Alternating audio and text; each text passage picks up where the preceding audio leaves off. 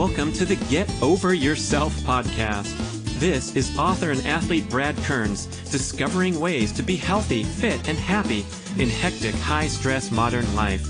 So let's slow down and take a deep breath, take a cold plunge, and expertly balance that competitive intensity with an appreciation of the journey. That's the theme of the show.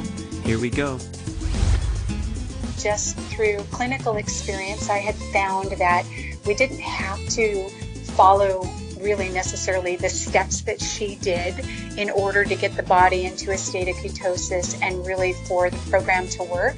So within my practice, I always started with this kind of foundational approach, which was starting with the gut, removing, you know, really all grains, all sugar, limiting carbohydrates, putting your body into a state of ketosis, and, and healing the gut so that your body could finally start to heal. I can't tell you how many people from a clinical experience that I had where when we removed the carbohydrates and we put them on a paleo or keto diet, that they would say, Well, I was experiencing, you know, whatever it was. And I didn't even realize that it was related to any of this.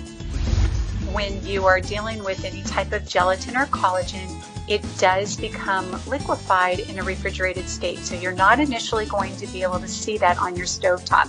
But most of us, when we make our bone broth, we make it in big vats. I do always tell people, you know, make your own bone broth. It's an easy thing to do. And if you can't, we're here for you.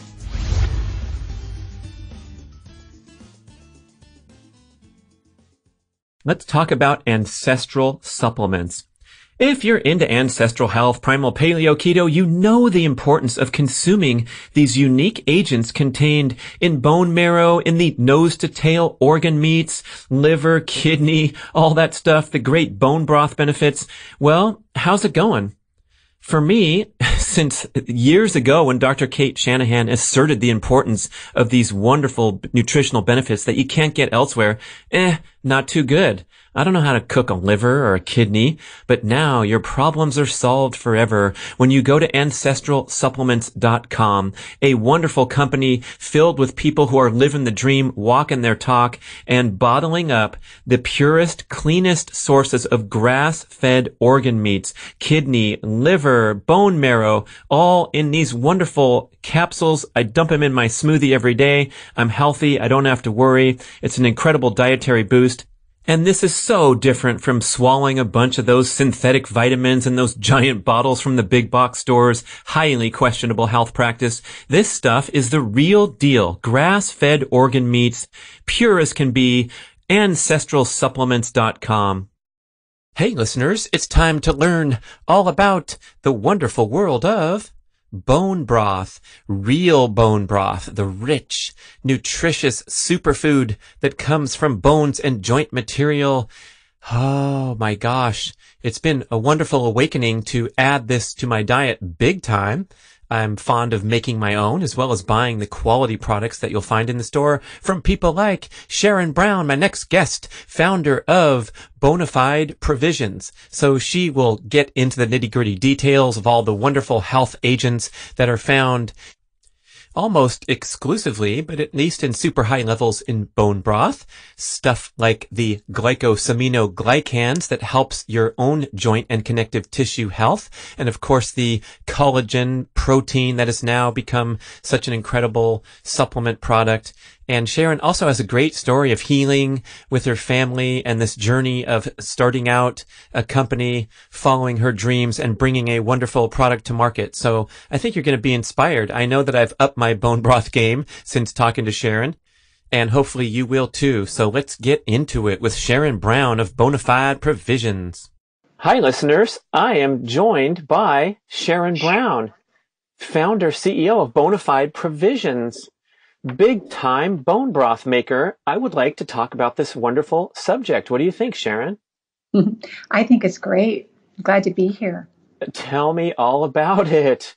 We've heard uh, in the the background that bone broth is so healthy and so important. It's got these special agents like the glycosaminoglycans that help your joints and connective tissue. So I'm going to just tee you up and I'd love to learn about the health benefits, especially we're talking to keto enthusiasts who know that um, uh, bone broth is, is right there, keto friendly uh, uh, preparation. Um, I've been putting my um, egg yolks, thanks to Matt Whitmore, Fitter Food, cracking a couple egg yolks into the uh, the bone broth, heating up on the stove, and it's like a wonderful morning drink. So um, we'll find out some other ways we can use this stuff, huh? Yeah, great. I'd love to share.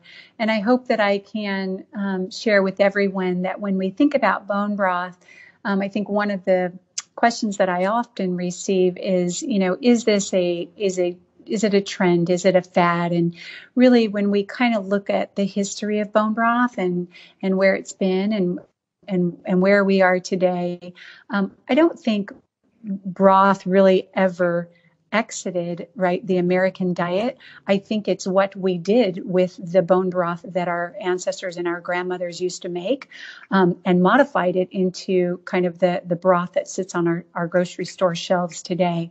So hopefully i can can share with you that I, I, don't believe that bone broth is necessarily a fad. I believe it's always been a part of the American diet.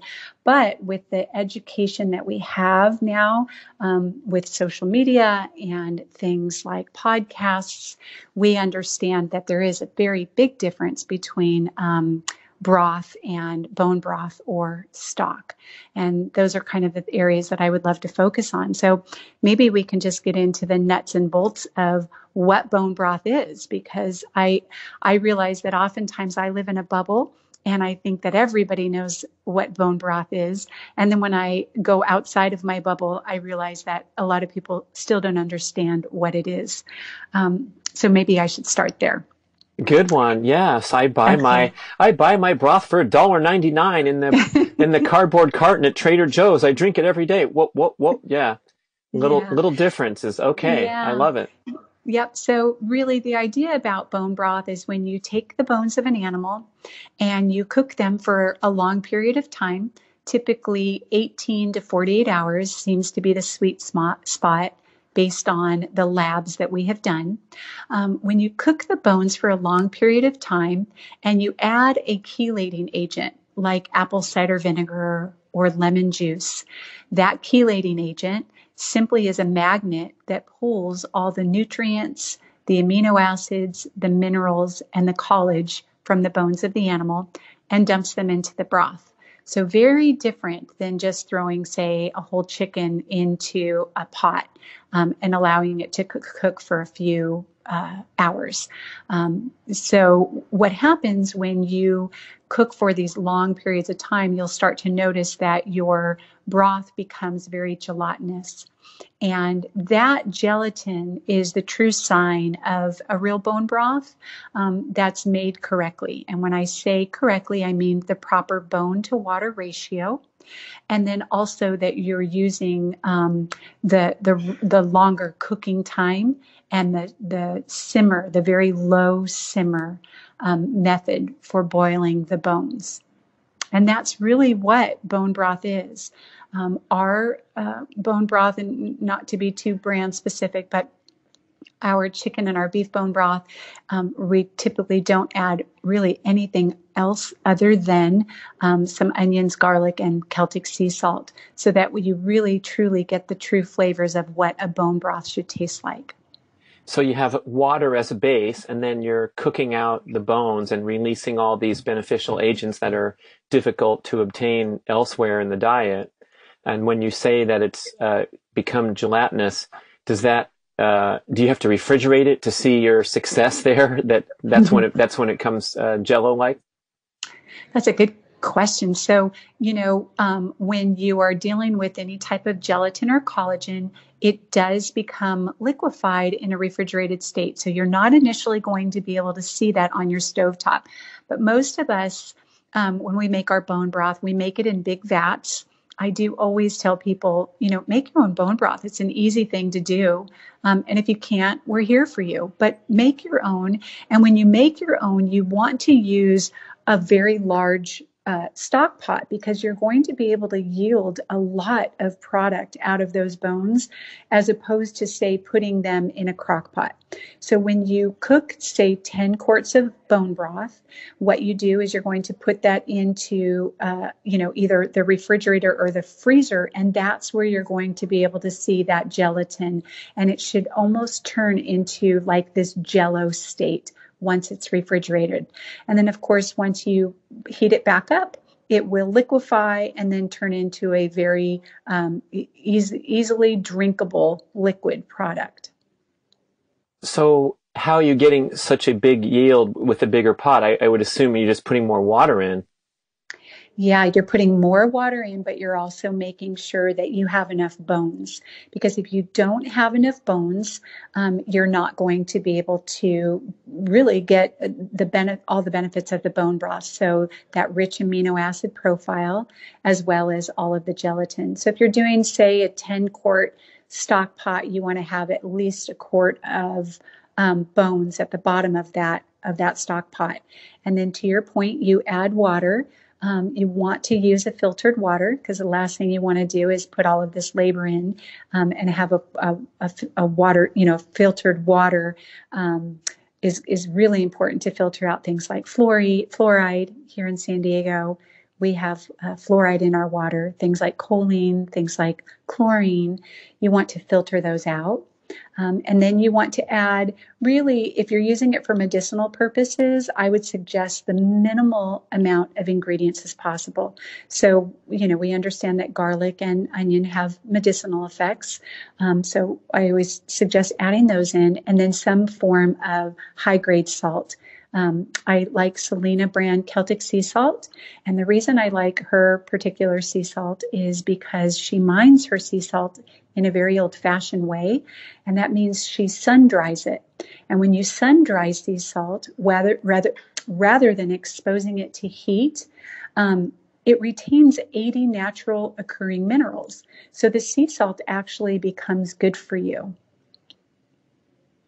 Uh, but you don't want to get super fancy with all these flavorings. And you, I mean, we have all manner of uh, suggestions on the internet to make cherry bomb bone broth or whatever. Yet not initially, and really, it really depends on what you are using it for. If you keep your ingredients to a minimum, you really can do whatever you want once you um, start to implement that bone broth into your your everyday um, diet. And so I'll give you an example. Many people like to take their bone broth and they will pour it into ice cube trays and they will freeze it um, into these uh, ice cube trays. And then they will simply take one of the cubes and add them to their morning smoothie um, or add it to saute their morning eggs in um, or their morning omelet.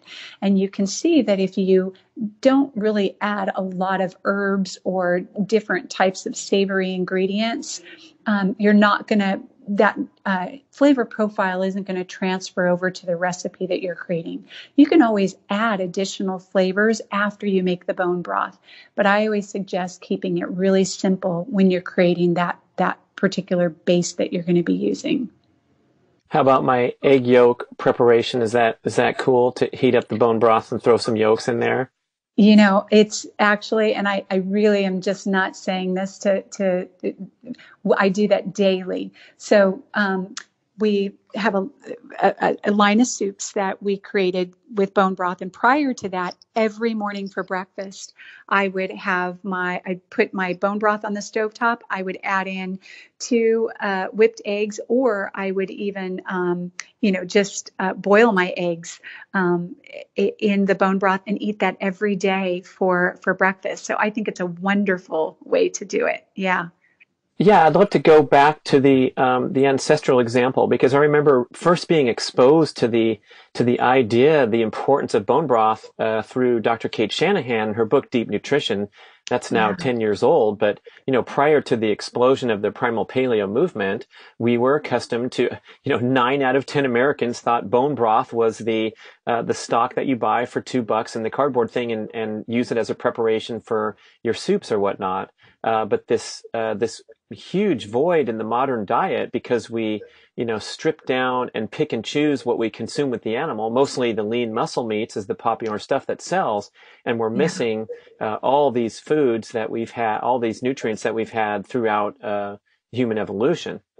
Yeah, absolutely. And when you th- you know when you think about the story of bone broth, um, oftentimes because I am on the road and I'm talking about bone broth often, so many times I have uh, friends that come over and, and, and we meet them and they say, Oh my goodness, my grandmother or my mother always had bone broth cooking on the stove top. And even, you know, when I'm talking to the older generations, they say themselves, I always had bone broth cooking on the stovetop. And it was right about in the 1950s, right? When we as a society um, told moms that it really wasn't in vogue to make homemade food any longer. And, you know, it's interesting if you look back at the advertising in the 1950s, it was all about the modern woman who didn't cook and who served her family's TV dinner so that everybody could sit in front of the TV together and watch TV. And that is where we started to really see this progression of removing the process of creating real ancestral food and moving it out of our American diet. And that's exactly what happened with broths um, we had a big food company come in and say, oh, you know, this is just another convenient way to be able to make soups, gravies, your stuffing, um, you know, anything that you are uh, using a broth for, and we're gonna we're gonna replace that for you. And and we all know that th- these boxed and and canned broths were really just MSG, right? It was just a very poor version of this superfood. And unfortunately, back in the 1950s, you know, we didn't have the science behind why bone broth was a superfood. And so we accepted that replacement. Now we understand the science behind it and the amino acid profile and what those amino acids do and why truly they are, you know, bone broth is a superfood. Um, and so it's that kind of progression that started in the 1950s. And it really wasn't until, like you said, Cate Can- Shanahan, um, Sally Fallon wrote in her Nourishing Traditions cookbook, Kaayla Daniels, who came out and said, you know, this is a this is a long lost art that we need to bring back into our wellness programs because the medicinal benefits are so great. Oh my gosh, I'm thinking of the best-selling book Fast Food Nation by Eric Schlosser, and he talks about around the same time period, I think it was maybe into the 60s, when the fast food restaurants exploded and uh, took the nation by storm with the founding of McDonald's and the spreading of the other franchises, Carl's Jr., Wendy's, and how the the pitch, the advertising pitch, was that you could save the time and energy that it took to prepare a family home cooked meal and just drive to uh, the burger joint, spend only a few bucks, and all of a sudden, you know, eating became affordable. Uh, but in the in the in the uh, in the process, we lost that uh, centerpiece of healthy family living, which was the the home cooked meal and the shared experience of preparing the food from scratch, and then not to mention the uh, the nutrient quality. So when you're buying the watered down stuff, even today, when you see beef broth or chicken broth, um, what are they? Uh, what are they doing to short circuit the process of uh, doing what you guys do at Bonafide to make a, a proper bone broth product? Yeah, well, they're they're doing a couple of things. The first thing, they're, 1st they're, yeah, they're, hiring low wage workers to come in and get, get, work in poor working conditions. Okay, okay. Yeah, well, you know, from from an ingredient perspective, I you know they're really kind of doing the same thing that they did back in the 1950s and 60s. They're taking this superfood and they're packaging it in a way that um, conveys to the consumer that it's the same thing. Unfortunately, as of today, the FDA does not have any type of regulation against um, or for the verbiage bone broth. So that means that you or I can simply um, put some water in a pot and add some beef flavoring And we could theoretically sell that on the grocery store shelf as bone broth and not have any bones at all in the process of making that product. And that's um, one of the ways that um, we are seeing um, these products being sold. In fact, I, I, can share a story with you. I met with a retailer a couple of years ago that was kind of still scratching their heads. They were new to bone broth. They didn't understand bone broth. And I, I met with the, the category buyer and she said to me, you know, we've, we've, we've it seems to me that we as a retailer just need to go back to the drawing board because we probably just need to take all of our stock that we have on our shelf and rename it um, as bone broth. And lo and behold, that's exactly what they did because I, am familiar with this retailer. And when I walked in and looked at, oh, they have bone broth now on their shelf, and I turn it around, it was the exact same product that they used to sell on the shelf two years ago that they referred to as stock. Um, so really, you know, it's it's this whole concept that I know that we all um, really preach about and and adhere to and has really just become a part of our lifestyle. And that is that you have to not only read labels but scrutinize them. So you a, a company should be very transparent about what goes into that product. And it should be uh, easily understood um, with their ingredients. And if you aren't seeing bone broth or bones in that, the first ingredients, there's a problem there. The other thing that you want to do is you want to make sure that the product doesn't just say broth. Um, because that means that there aren't any bones used in the making of that product. So you want to make sure that it talks about the bones. And then anything after those ingredients should simply be things like um, the water, the salt, you know, the garlic and the onions. Anything else is just filling that package up with things that are not going to be um, used really for, for the body uh, as, as a medicine. Oh, so we do have that guideline where we can look for bones on the label and know that they uh, they took those necessary steps, or the absence of the word bones uh, conveys that. I guess is it properly termed stock then if it's not if it's not bone broth? No, it, it they can call it broth. So what you might see is it'll say bone broth, and then the second ingredient might say broth. And that's what we refer to as a filler broth, meaning they do have a little bit of bone broth in there, but the second ingredient is just regular old, I don't want to kind of say the brand's name, um, you know, the kind of broth that you used to buy back in the 1960s. That is what that broth refers to. So you want to make sure that your bone broth doesn't have broth in it, it just has bone broth in it. Uh, and so the litmus test for the interested consumer would be to uh, refrigerate the product and hope to see the gelatinous formation. Absolutely. And you know, that's really what you're going to do at home. Um, and that's actually how we ended up putting, you know, uh, merchandising our bone broth in the frozen set at the grocery store. Because when I, early on, when I met with retailers, they would say to me, you know, the consumer is going to go to the grocery store shelf to buy their broth. And I said to them, but it's not going to be where they buy their bone broth because when you make your own bone broth at home, I shared with you the steps. Your bone broth is not only going to gel when you make it at home, but you're also going to store your bone broth in either your refrigerator or the freezer. And naturally, as a consumer, that's where we want to find our product because that's letting us know that it's as close to homemade as it possibly can be. It's similar to sauerkraut, right? So I I grew up in that era in the 1960s and we used to shop for our sauerkraut on the grocery store shelves and it was really the only place available back then where you could buy it. But now we buy our sauerkraut and our fermented foods in the refrigerated section so that those products can continue to maintain the efficacy of the products. Wow, so it's sort of a flip flop. Like you want to find your broth, your legit broth in the freezer or fridge, but then a, a, truly fermented product would not need refrigeration. Is that what you're saying?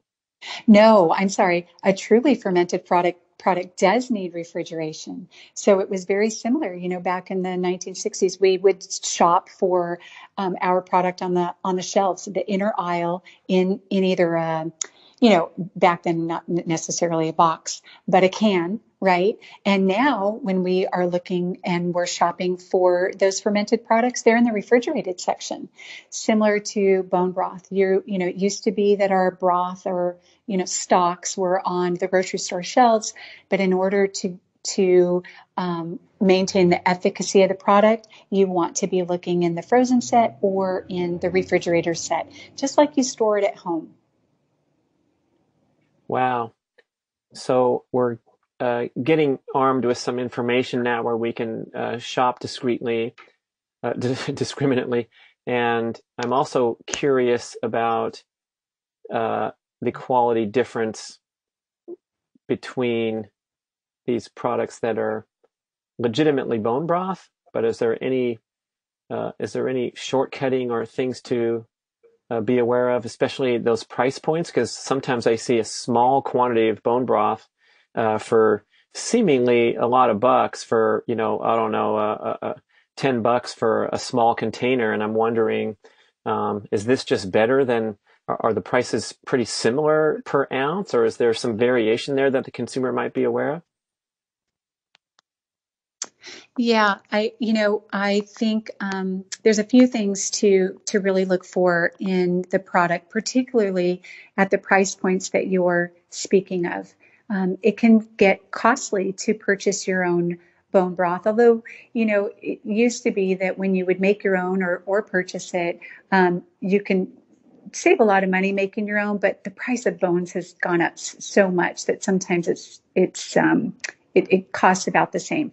But when you are purchasing, you know, this, this big dollar item, there's a couple of things that you want to look for. The, you know, the first thing, and it's so important to me, just as a nutritionist um, and a mom who, you know, who fed my children this product for years, is that you want the product to be certified organic. Um, and I, I'm, I'm, I know I'm preaching to the choir here when I say this, but and you all probably know this, but when you have a product that's organically certified and it has that certification, every process for that product has to be organic certified. So even the um, the cleaning agents that we use to clean our big, you know, 10 quart, 20 quart, much bigger now, uh, 40 quart stock pots have to be organic. You know, I can't just throw any type of dishwashing liquid um, on, on, you know, in in the uh, cleaning process. So everything that we use in our warehouse has to be um, organic. Um, and so that certified organic is very important. That means that the bones are certified organic and every product and process is certified organic. So that's one of the things that you want to look for. The next thing you want to look for is the long cooking time, that 18 to 48 hours. We've done labs and we started our original labs at about four hours. And we would simmer our bone broth, pull labs, and look for um, the highest amino acid content that we could achieve.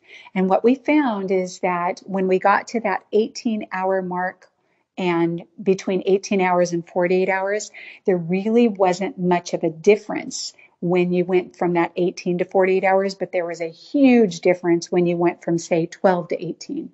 So you want the longer cooking time. 18 to 48 hours is typically what you want to look for with a brand.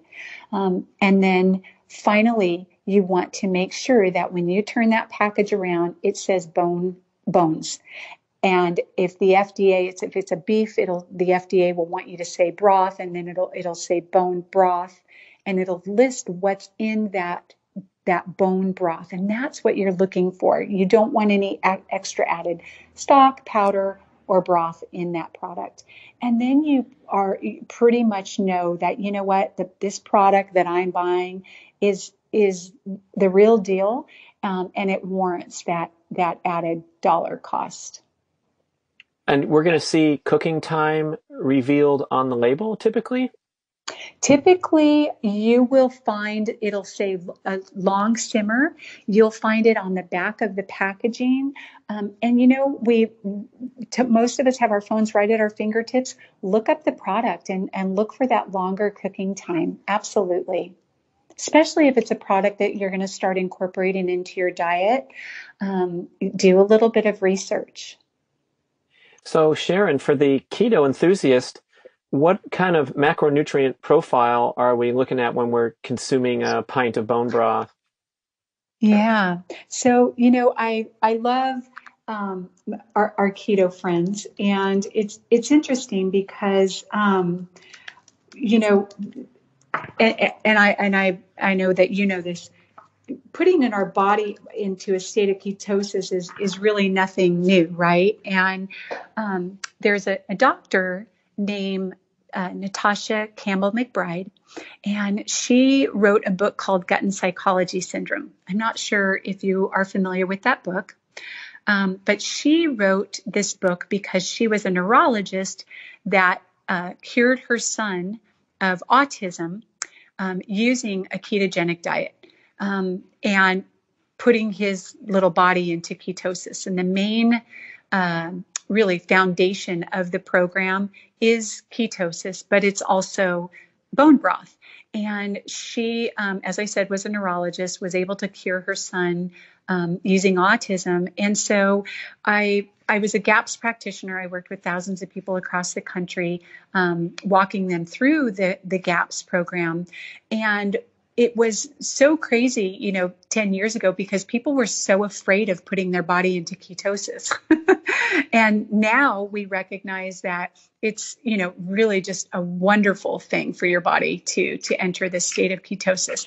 But I think the most important thing for the keto community and the person who is following the keto diet is really the amino acids that are available in bone broth. Um, and that that is across the board. It's not just with our keto friends, but um, for instance, glycine. So glycine is one of the powerhouse amino acids that are in bone broth. And you get that higher level of glycine with the longer cooking time of the bone broth. But glycine does two things. The first thing that glycine does is it helps absorb the protein you eat. Okay. So we, we know that if you're not able to absorb and uptake the food that you eat, then what's the point? We should all be eating Snicker bars, right? Um, if you are able to absorb the protein that you eat, the protein's going to go to the places in the body that it needs to. You're going to utilize that protein. Glycine helps with that. But the other thing that glycine does is it conjugates with bile acid and it helps in lipid absorption, fat absorption. And oftentimes, I, I worked with a lot of recovering vegetarians and vegans in my practice recovering. Ah. Yeah, they needed to recover. And um, oftentimes what happened with my my friends who were recovering from a vegetarian or vegan diet was their gallbladder pretty much shut down it did not know how to um, to really uh, utilize fat any longer and so it oftentimes they would come to me and they would say, "Oh, just the thought of of eating meat, it just makes me, you know, want to gag." And the reason was is because their their gallbladder, it's a lazy organ, pretty much had shut down. It wasn't being used, so it kind of went to sleep. There was no, you know, it wasn't having to digest all of these wonderful animal fats, and so I would uh, actually help them kind of do this gallbladder recover recovery. And one of the things that we would use is bone broth because the bone broth, the glycine in the bone broth helps with the bile acid and it helps with your lipid absorption. So you can not only absorb the fat, but you're going to be able to put the fat where it needs to go, right? To like your brain, where where is the most important part of, of where we need the fat to, to go, especially on um, the keto diet or any diet. Um, and so you know, as I said, most Americans really have a hard time digesting fat. We, I grew up on this low fat diet craze, right? And we were the low fat, um, high carb, uh, 1980s, you know, lots of pa- pasta type of thing. And that gallbladder kind of shuts down. And so um, the glycine is so key for the keto diet because of the bile acid assistance that it helps with for you to be able to digest the fat. Oftentimes, we find with people who's um, come onto the, the keto diet, um, they start to have greasy stools that is a direct result of their gallbladder not functioning well. And so, one of the things that we do is we would um, have them drink copious amounts of uh, bone broth for um, the glycine. The other, um, not to nerd out on everybody, so, you know, sorry that we're getting into these specifics about amino acids, but I think the other piece of the component with keto and really just anybody that's trying to um, live a better, healthier lifestyle um, and really be able to utilize their food as fuel. Um, that is the amino acid glutamine. So, glutamine is like, um, unlike any other amino acid, um, it's very unique because it's the primary fuel that's used by the cells that line your gut. Okay, so these little cells that line your gut prefer a specific type of food. And the food that they prefer, their number one choice, um, is glutamine. Um, and so much so that when glutamine comes in contact with the cells, the cells absorb it directly, very quickly.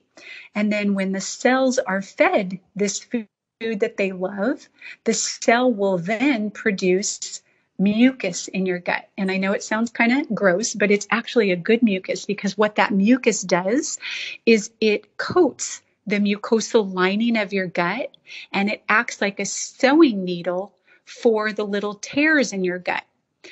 Most Americans have tears in their gut. We refer to it as a leaky gut syndrome. And even if you aren't having symptoms, most of us have some type of uh, leaky gut simply because of the lifestyle that we live, right? We drink too much coffee, we're under too much stress, and we've been exposed to far too many pesticides and toxins. Those, um, that American lifestyle leads to these little tears in our mucosal lining of the gut. And what the glutamine does is it almost acts like a spackle because of how the cells react to the glutamine. So, for somebody who's on keto that's eating a lot of amazing food and is so intentional about what they're putting in their body, it's really important that what you are ingesting in your body is being utilized, right? Uptaken and absorbed. And the way that you do that is you focus on the health of your gut.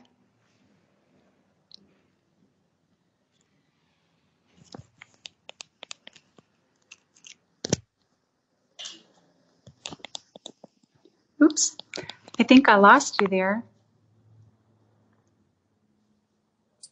So we have the digestive aids, the glycine. We have the uh, support for the gut lining. Mm-hmm. And can you talk about the uh, highly touted joint compounds that are found in high levels in bone broth? Sure. So, um, proline um, proline is an essential component of collagen right? And so that's really where you are going to see that wonderful gelatinous quality of of the bone broth. When you are looking at um, that jelly like substance, that really is the collagen from the bones of the animal that you are extracting, and now you are um, putting into to the bone broth when you when you make the longer cooked, cooked methods of the bone broth. Um, that that proline is an essential component of collagen. It helps with cellular regeneration. Um, it helps with tissue repair, and it also helps you rebuild collagen. And we know, you know, collagen is such a uh, a wonderful new product that many of us are incorporating into our diets. And there's many ways that we're getting collagen in. I mean, there's products. Um, you know, one of my favorite peanut butter companies now is putting a collagen powder in their peanut butter. Um, wonderful um, additions, uh, you know, to to to our health. but when you think about the most readily available source of collagen, it really is in bone broth um, because your body recognizes that form of collagen to be just like your own. Animal collagen is is very very similar to a human's collagen and so when we drink that the body not only readily recognizes it it absorbs it and the way that I like to kind of share my philosophy, and it really was my philosophy before I became a bone broth slinger, you know, um, before I had Bonafide Provisions as a company, I was a nutritionist, and that's what I did, and that was my passion, and and that's what I loved. And I I worked with thousands of people all across the country. I had a four month wait list to work with me, and not necessarily because of me, but because of the program that um, that I prescribed. And the program really was this whole food approach to living, right? Very little supplementation and supplements when needed, right? Um, but really trying to understand that our body is a machine, and this machine has been created to be fueled by food, not um, really any other thing than than food and and then of course you know water and, and beverages. But food and so its most recognizable source of energy and protein and collagen and whatever it is is going to be from your food. So i always encouraged my um, whoever i was working with my my patients to heal when they could using food. And I always liked to give this example. If you think about a uh, vitamin C and you're trying to get your vitamin C in, what is the body's most recognizable way to get that vitamin C? What is it going to recognize most quickly, right? When you put that uh, say orange on your tongue. It sends a neurotransmitter to your brain. Your brain starts producing saliva. Then your brain starts telling your your, your stomach to make hydrochloric acid. Your pancreas starts, you know, kicking out um, the enzymes to be able to. And so it's this beautiful cascade that your body has been created to do the minute you put food on your tongue. Um, so, the preferred method by this body that you're trying to fuel is food. So, always reach for food, always reach for collagen in its most pure form. And then, when you can't, you know, I would always suggest supplementation. Um, so that's you know that's probably a kind of a bigger, broader thought process. Um, but that proline that's in the bone broth is a really important uh, uh, component um, of the collagen and the cellular regeneration and the tissue repair. Great. So if I'm looking at a, a, a pint of bone broth, am I looking at mostly protein, uh, low to no carb, a little bit of fat? What's the what's the ratio? Yeah, absolutely. And it really just depends on on ha- how you're making it, right? And so it's going to be very little to no carb. Um, it's going to be it's not going to be really uh, high in fat, um, but the ratio is probably going to be within that that um, keto profile to put your body into a state of ketosis. And it really depends on how you make your bone broth, right? So some people like to add a lot of um, ingredients to their bone broth, particularly vegetables. That's going to increase um, the carbohydrate profile of it. Um, and so you, it, you know, you you really that's another reason why you really want to um, really stick to kind of the minimal amount of ingredients. And then one thing that I really love to do with my bone broth is really replace it in um, any type of liquid. So for some people, it's a big stretch to replace their bone broth in the place of coffee, and I get that because I love my my um, my coffee with my butter and my MCT oil in the morning. However, for an afternoon snack, I always suggest, and we have it often here at the office, is to grab your bone broth, um, add some MCT oil or some ghee or some butter, really increase that fat content. And now you have not only this amazing keto cup really in your hand, but also you get all of the benefits of the amino acid profile that's in the bone broth. So it really is this this superfood. And you know, I also think it's just important to understand, um, you know, the the healing benefits of the bone broth on the gut. So when we think about keto and putting the body into a state of ketosis, we, you know, we understand. Look, you're going from this carbohydrate-driven state to this fat-driven state. You know, it's the e- that's the easiest way, you know, at, um, to try to explain what we're trying to do in the area of keto and ketosis. But beyond that, we still need to remember that we're fueling this machine and we need vitamins and we need minerals and we need amino acids so that it can do the best job that it can do for us. Right. And I think even with, and uh, you may have experienced this as well. I, it's interesting because when I would have clients and patients that came into my office and, you know, we would say, okay, we're going to put you on a, a no grain diet or, or even, you know, just having something like a, a gluten free. Well, all of a sudden they were just eating a bunch of gluten free or mm-hmm. grain free junk right? it's like I could go down up and down the aisles of the grocery store with my children and they will load in, you know, as much junk as they possibly can and say, "But mom, it's gluten free, it's grain free, it's keto." and we have to remember that you know, there's so many wonderful benefits of following a keto diet. I've been following a keto diet for probably 10 years now. Wow, However, you're an early trendsetter, Sharon.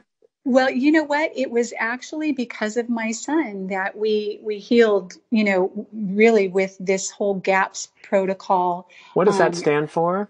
Yeah, so GAPS stands for Gut and Psychology Syndrome. And as I said, it was written by Dr. Natasha Campbell McBride, who healed her son of autism. And the whole concept is that there is a direct correlation between the gut and the brain. So much so that when we are in utero and we're being formed in our mother's womb, there's a piece of tissue and one breaks off and becomes the gut, and the other uh, piece of the tissue breaks off and becomes the brain. And these two tissues or organs are forever in communication via something called your enteric nervous system. And that's why um, whatever you put into your gut affects your brain, and whatever you put in your brain affects your gut. And this neurologist, neurosurgeon, knew that her son's brain was a mess, right? He had autism, but she thought, I'm not going to do what every other doctor is doing. I'm going to fix his gut. And when I fix his gut, I think I'm going to be able to fix his brain. And that's exactly what she did. Um, and in doing so, had him on, really in, in a state of ketosis for um, the first part of the program to be able to heal his his brain. And then, of course, she went on to train practitioners all across the world, not just the United States, um, with the GAPS protocol to heal people of really any type of mental issue. So ADD, ADHD, dyspraxia, dyslexia, um, anxiety, um, anybody who is on the spectrum, um, autism, um, and with great, great uh, deals of success. Um, just by putting people on this GAPS diet, which really does put your body into a state of ketosis. Uh, so, is that something that you integrated into your practice? It is. And I did a modified version um, of her GAPS program. Um, it evolved over time just through clinical experience. I had found that we didn't have to um, follow really necessarily the steps that she did in order to get the body into a state of ketosis and really for the program to work. So within my practice, I always um, started with this kind of foundational approach, which was starting with the gut, removing, you know, really all grains, all sugar. Um, limiting carbohydrates, putting your body into a state of ketosis, and uh, and healing the gut so that your body could finally start to heal. Wow, that's pretty uh, that that's pretty heavy duty to make that connection. I don't think a lot of people have connected those dots appropriately. We know the science is emerging, and some some highly respected uh, leaders in that space. And uh, I guess if you were to um, talk to a, a, general listener that might have maybe something subclinical like um, anxiety creeping into the picture here and there in our hectic modern technology addicted lives, could we actually uh, expect to address those conditions through, let's say, uh, ambitious consumption of bone broth and then uh, ditching the uh, the processed carbohydrates at the same time? Yeah, because if you think about really the biochemical process, right, with anxiety or depression, where is our dopamine and our serotonin created? It's created within our gut. And because so many Americans have have eaten far too many carbs. We are carbaholics, right? Um, just look at our food pyramid, you know, 10 years ago. Um, and it's the same, you know, really diet that all of our parents uh, ate and I was fed. Um, you know, we have gut dysbiosis. And when you have gut dysbiosis, you are not going to be able to make the serotonin and the dopamine that would allow you bi- biologically and biochemistry to be able to have this wonderful outlook on life. You know, um, many people don't relate the mind back to the gut. And this is one really great example that I that I had shared in my practice when I would um, when I would go around San Diego and, and, and share with different groups and lecture. And I, and I think that it really kind of gives this picture of the gut and brain connection. Um, I just had mentioned how the gut and brain is closely related. They're always communicating via something called your enteric nervous system. And one of the ways that we know for sure that um, there is this direct relationship is probably the way that we've all experienced it. So most people um, do not like to public speak. They don't like to get up and speak. You know, even in a classroom, you don't like to get up in front of somebody and speak. And oftentimes we refer to, oh, I get butterflies. It can even kind of send you running to the bathroom. Some people get a very upset stomach. And it has nothing to do with anything they've eaten, but everything to do with what they're thinking. So just the thought that's in your brain that you're going to have to get up and public speak starts to affect your stomach. Transversely the same thing happens. When you have a toxic gut and you are somebody who grew up right you know like most of us with this carb laden diet um, what you are putting into your gut becomes toxic to your brain. And so cleaning up that gut will clean up the brain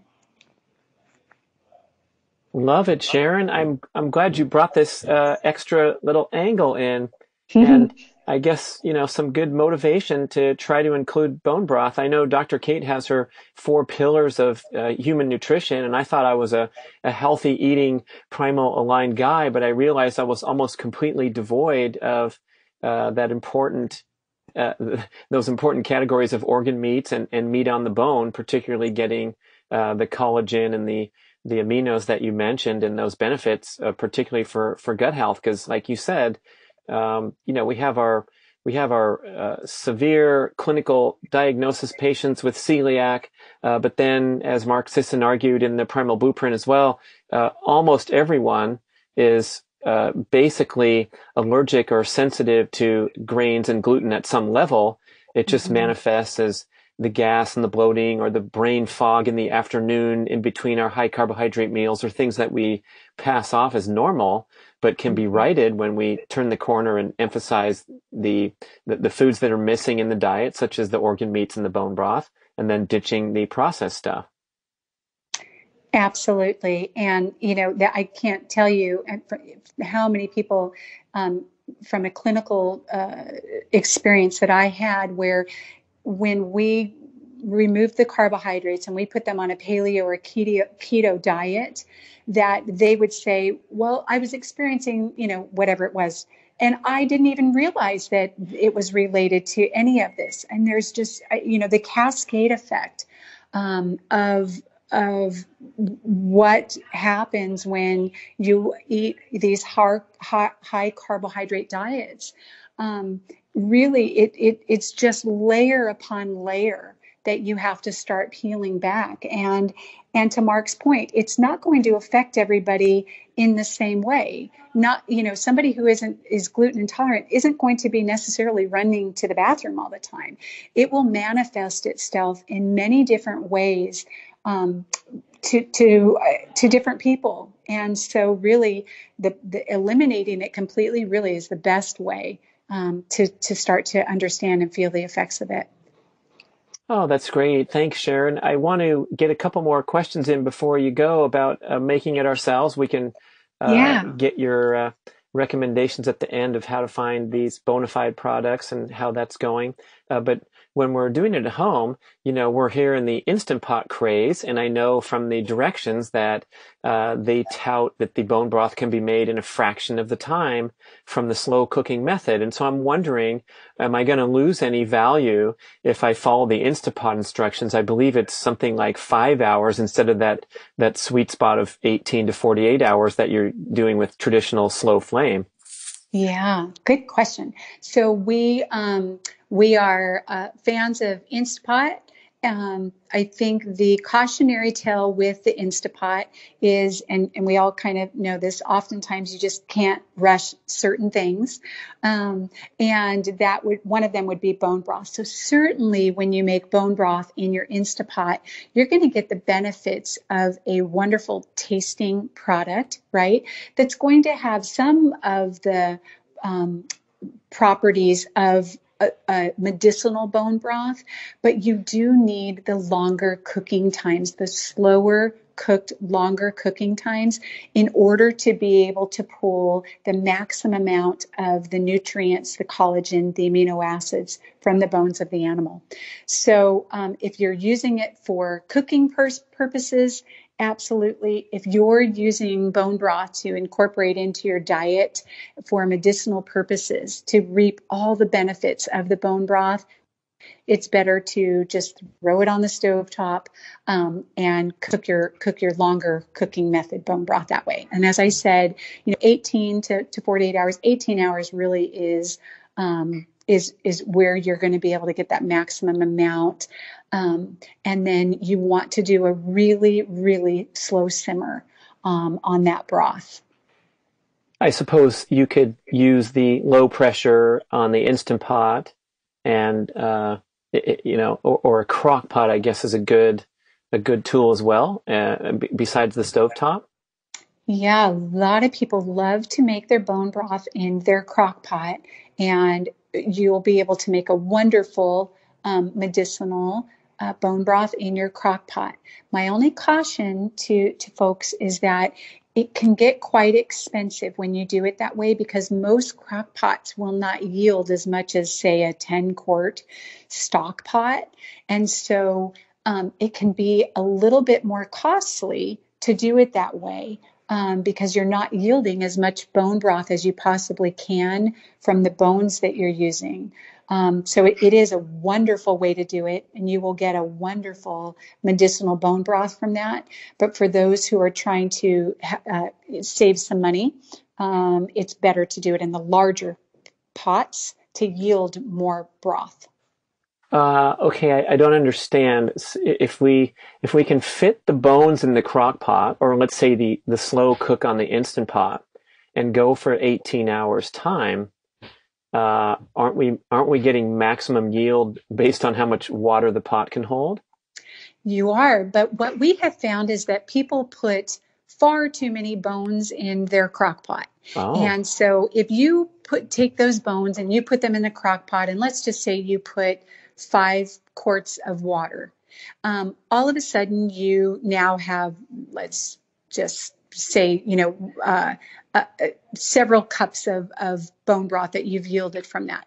If you take that same amount of, of, of bones and now you're putting it in in 10 quarts, you're still going to be able to, with a longer cooking time, yield that amino acid profile, the collagen profile. These are based on labs that we've done, and almost get double the amount of broth simply because you're you have a a larger pot that you're putting it in. Um, so one one of the ways that you can do that is you just really with the crock pot is you decrease the the amount of bones that you're putting in there, but it can take you some tr- time to figure out those ratios. Yeah, so there's no such thing as a ultra high potency bone broth because you wedged more bones into the pot. Is that what you're saying? Right. Absolutely.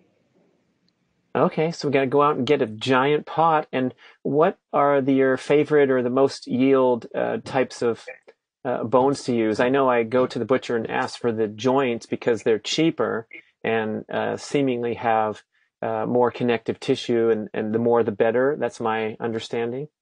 Yeah, that's exactly it. So the joints, um, the knuckles, um, really any parts of the bones, the, the the backbones um, for the beef. And then, I, of course, for the chicken, you want to add the chicken feet. Um, the feet uh, of the chicken is where the chicken actually um, holds most of its collagen. And so you will find that your chicken broth is slightly more gelatinous than your beef broth. And that's simply because you're adding those chicken feet in. And with the chicken, you're looking for the backs, the wings, um, and wing tips for the bones. And it really is an easy process, as we've talked about. You know, it's it's really um, we use a triple filtered water. You want to source your bones from organic, grass-fed, pasture-raised um, chicken bones. Um, you want to add in, you know, if you're somebody who loves the medicinal properties of garlic and onion, which I do, add that in. A little bit of Himalayan or Celtic sea salt and and a little bit of apple cider vinegar that's going to act like that chelator or magnet that pulls all everything from the bones of the animal and dumps it into that that liquid gold. So a little goes a long way with the apple cider vinegar, just some tablespoons in a, in a large pot or what? Yeah, little goes a long way. You don't need a lot of it, about maybe two tablespoons for a large 10 quart stock pot. And I have found that those who are sensitive to vinegar um, typically can tolerate the vinegar when they're making their own or, or, purchasing it simply because you're cooking the product for such a long period of time. Um, it's not like, you know, eating a, a, a spoonful of straight vinegar. Uh, so we know about choosing the uh, grass-fed pasture-raised animal because the flesh and the uh, the fatty acid profile and the, the hormones, pesticides, antibiotics, objectionable agents in the actual meat. But when we're talking about the bones, uh, how are we getting uh, disparity between organic, uh, naturally raised versus a conventional uh, purchase of a joint material, let's say? Um, so if your if your question is why are mm-hmm. are we doing that with the bones? I mean, it's going to be simply because it's the same. It, the, you know, the, it's the same science behind what you're trying to find with the proper omegas, right? Um, with the meat versus the bones. I mean, it has eh, you know the bones of the animal really is just the animal itself, and so you want to make sure that everything that went into the growing of that animal, the feeding of that animal, the slaughtering of that animal, all really does adhere to those, you know, the, those same practices. Love it. Thank you so much for the hour of power education on bone broth, Sharon. Tell us about Bonafide Provisions and how you got this thing to be the uh, the number one in uh, in frozen bone broth in the whole nation right now, huh? Thank you. I appreciate that. And really, not to put a plug for our company, just to share, you know, I always tell everybody make your own bone broth. And if you can't, we're here for you. Um, and we're going to do it just the way that you do it at home. So it was really, um, I'll give you the Cliff Notes version or Reader's Digest, depending on your age. um, but I, 12 years ago, had a, a, a, son who was six years old, had been on uh, antibiotics for the majority of his first six years of life. Um, we were told that he had ADD, and um, we decided we were going to do something different. And so we pulled him out of school 12 years ago, and I came across the concept of bone broth. And the idea that bone broth heals the mucosal lining of the gut. And so I started putting bone broth in every single thing that I cooked for him. I hid it in everything, even waffles and rice and anything else that I was feeding this child. Um, I put him really initially on a on a, a paleo diet, um, which was more like this GAPS diet, and we healed him. Um, and I uh, then created a, nutrition practice. I opened a nutrition practice in Del Mar. And my biggest challenge was trying to get people to make their own bone broth. There wasn't one on the market that met my standards. So I enlisted my husband, who was a chef, and I said, Will you make bone broth for my clients? And that's what we did. And so here we are today. Um, and we have bone broth in the frozen set, as well as a soup line that we just launched. Um, and we are just excited to be a part of um, people's homes and their fitness regimen. Um, and as I said, love people to make their own bone broth. And if they can't, we're here for you. How about that? How can it get any better than that? And I guess if you if you start buying a lot, you're going to be wanting to make more at home. And if you're making a lot at home, you might be grabbing some more at the store when you get in between batches because it is an yeah. arduous task to do it right. And I I've, you know, I've messed up some recipes before or forgotten about it or had the flame on too high or whatever. And so I, I, appreciate that convenience. And it seems like the product category is growing, which is great for everyone in it. So I appreciate all your hard work and that wonderful story about your son and should give us all pause for reflection because we're kind of heading in the opposite direction where more and more kids are being diagnosed, treated with medication, and we're kind of ignoring that dietary element when we uh, pursue uh, mainstream medical solutions or uh, care for these uh, all, all, manner of conditions. Absolutely. Hippocrates was right, and it really is um, overused, but it's so foundational that food is medicine, and that's how we should be approaching our health um, and our wellness and our chronic diseases. Sharon Brown of Bonafide Provisions. We can go look at your website. Is it is it bonafideprovisions.com? It is. It's okay. there. Yep. Yep. Thank, thank you, you, everyone. For, thank you for all the info. Thanks for listening, everyone. Okay. Thank you for listening to the show. We would love your feedback at getoveryourselfpodcast at gmail.com. And we would also love if you could leave a rating and a review on iTunes or wherever you listen to podcasts. I know it's a hassle. You have to go to desktop iTunes, click on the tab that says ratings and reviews, and then click to rate the show anywhere from five to five stars. And it really helps spread the word so more people can find the show and get over themselves because they need to. Thanks for doing it.